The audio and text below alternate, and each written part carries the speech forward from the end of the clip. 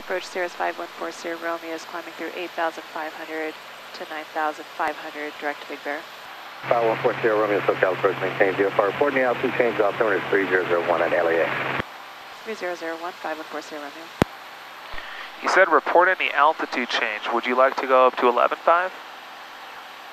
I mean, not really, but I mean, we probably should, but So what should you do in an airplane when you don't want to, but you should? you do. Good. so let's, I don't want to do many things that I should, right? Gotta clean your rig. Yeah, I, it. I'm not, we're not, we don't want to hit a mountain.